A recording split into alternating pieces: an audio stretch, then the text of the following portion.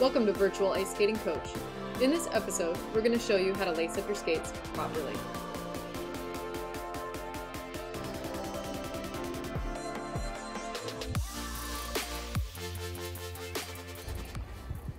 So you want to put your foot in, take off your soaker, put on your guard that I forgot to bring, but that's okay.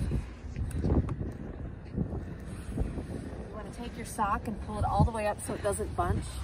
Pull up on the toe. And now here's something very important. Make sure the tongue lays against your foot. And then you want to go down to where the holes are and start pulling.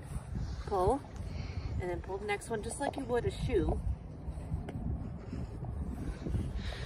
And then when you get up to the part that has the eyelets, these are called the eyelets, you want to cross, pull, and hook on each side.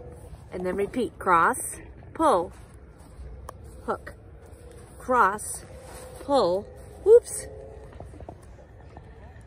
hook, cross, pull, hook, and then you're gonna wanna tie one knot.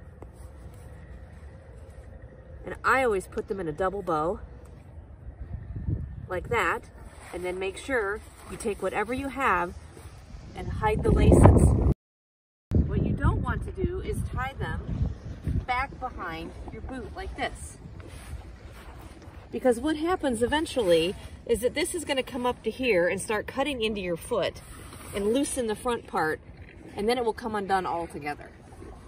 So that's not the good way to go.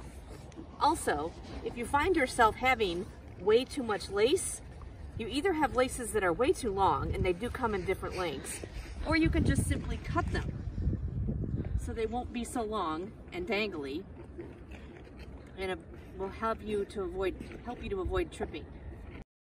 Thank you for tuning in to learn how to properly tie your skate. If you found this video helpful, please like and subscribe to our channel.